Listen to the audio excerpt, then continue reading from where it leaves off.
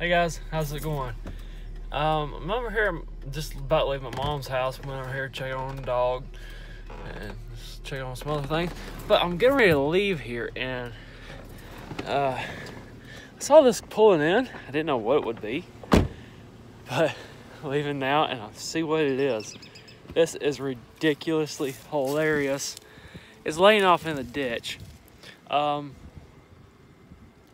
somebody's tailpipe. So we're gonna probably keep this. Probably gonna give it to Cannonball Repair and have him put it on something. but it's it's a darn big old diesel tailpipe.